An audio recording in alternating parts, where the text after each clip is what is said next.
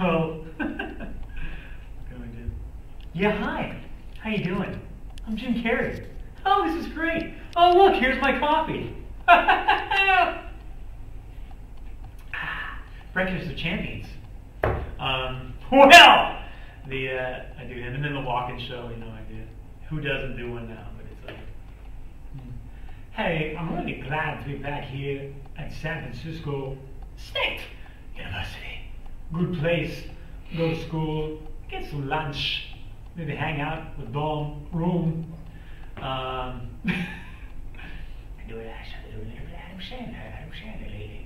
Uh, I do my mother. My, I play my mother in the show, and she talks like this. You see, Patrick, I don't know what you think you're doing out there at 12 o'clock at midnight. You think you don't have any curfew like all the other kids. You know, you can't be running around making me look bad like that. Uh,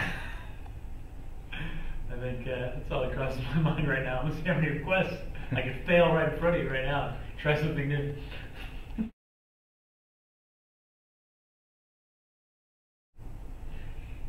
like one of the things that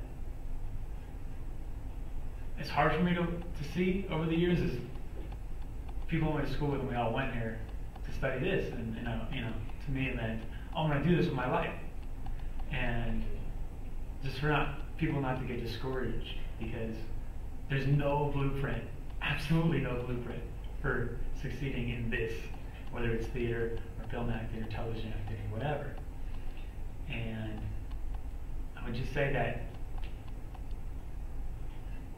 if you're gonna do it, do it. And if the first way doesn't work, try the second way, try the third way. There's so many doors to open and figure it out. And if you're willing to take responsibility yourself that to make it happen, and that you love to do it, you know, just not to let go of it, because it's very fulfilling if you are able to do it. And um, I think that's very important too, because I mean, it's just the kind of industry that you don't really Yeah. get successful that easily, and you're supposed to fall down a couple of times before you make it. So Yeah, and then great life experiences. Uh, I've always been very into physical comedy, like you said, the Jim Carrey thing. I just got to do three months as his body double.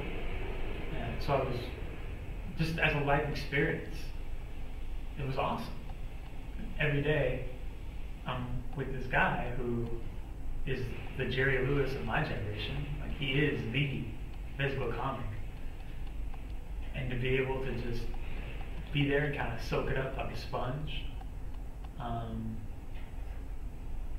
was fantastic, you know. were you guys like shooting a movie or something? Yeah, and as a bonus, you could even say this was the most fun part. Most of the days I was working with real live penguins, so I was doing physical comedy with penguins, you know, like the feet, whatever, and you, you know. Uh,